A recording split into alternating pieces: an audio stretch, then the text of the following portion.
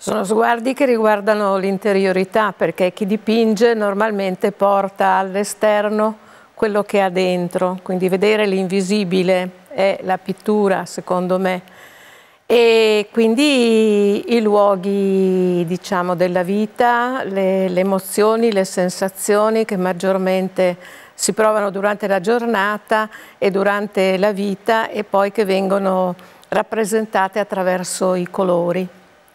Poi naturalmente il quadro rimane abbandonato alla vista, allo sguardo di chi, lo, di chi è di fronte, di chi lo osserva e quindi una, assume una connotazione nuova, un'immagine nuova che è quello di chi lo guarda.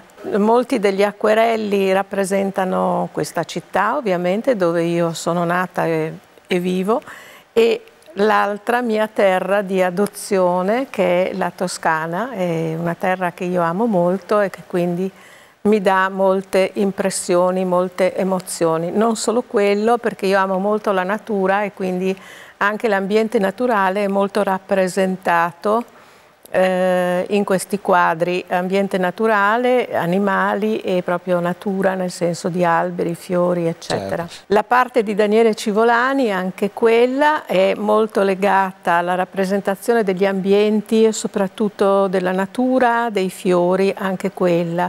Quindi in comune abbiamo questo, oltre al fatto della rappresentazione della, della pittura diciamo, e della rappresentazione per immagini, abbiamo questo amore grande per la natura che rappresentiamo sempre nelle, nei nostri quadri.